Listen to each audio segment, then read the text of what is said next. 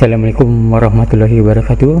Bersama dengan saya Akang dari Riang TV Kali ini Akang akan membahas tentang Profesor Amin Rais Yang dinyatakan gelarnya sudah hilang oleh Ketua Dewan Guru Besar UGM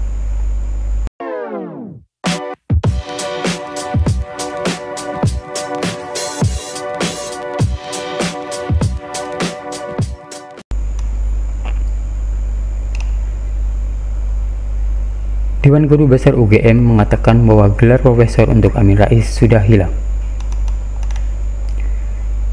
Sebelum terjun ke dunia politik, Amin Rais adalah salah satu pengajar di Visipol Universitas Gajah Mada atau dikenal dengan nama UGM yang berasal dari Yogyakarta.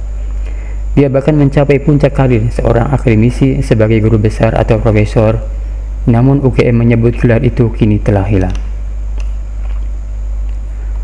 Ketua Dewan Guru Besar UGM, Kuncoro mengakui memang banyak pertanyaan yang diajukan kepadanya berkaitan dengan tanggung jawab Amin Rais kepada masyarakat sebagai seorang profesor.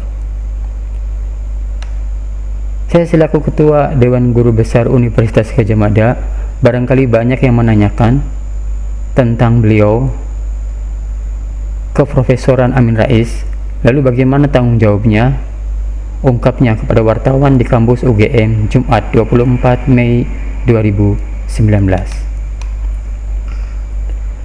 Memang di Gajah Mada, guru besar itu memiliki tiga komisi. Satu komisi tentang pendidikan, yang kedua komisi tentang nilai-nilai ke UGM-an, yang ketiga adalah wawasan kebangsaan. Perihal aspek kebangsaan, kata Kuncoro, pihak UGM menjunjung tinggi kebebasan akademik setiap sivitas akademikanya. Namun ia menolak berkomentar mengenai Amin Rais karena yang bersangkutan sudah pensiun dari UGM. Beliau sudah pensiun, guru besar atau profesor itu adalah jabatan akademik. Sehingga ketika beliau itu pensiun, maka jabatan akademik sebagai guru besar sebetulnya sudah harusnya hilang. Sementara itu Rektor Universitas Gajah Mada, Yogyakarta, Panut Mulyono menegaskan, apa yang dilakukan politisi senior Amin Rais bukan tanggung jawab institusinya, sebab Amin Rais sudah pensiun dari kampus.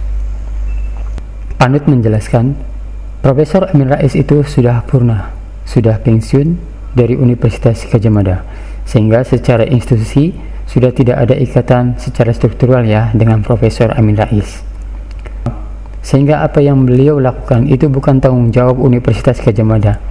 Tentu menjadi tanggung jawab pribadi beliau. Saya kira demikian. Sekian berita kali ini